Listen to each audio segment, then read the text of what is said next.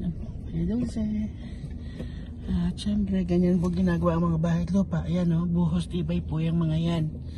Grabe. Sigurado ka, nakakasigurado ka na buhos tibay po ang bahay at lupa po ninyo. Ayun po siya, kaya ginagawa.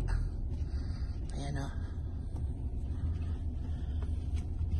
Kaya, yan po, value for money na investment kasi buhos tibay ang paggagawa ng mga bahay lupa. Makita niyo naman po siguro sa tingin pa lang ay napakatibay na dahil hindi gumamit ng hollow blocks. Yan po ang mga bahay lupa, buhos tibay na gawa ng Philippines Land Incorporated.